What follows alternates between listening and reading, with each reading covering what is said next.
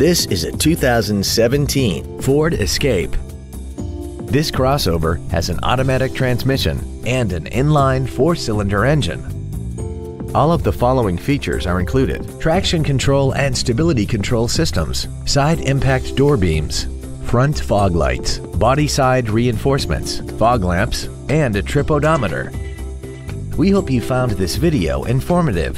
Please contact us today.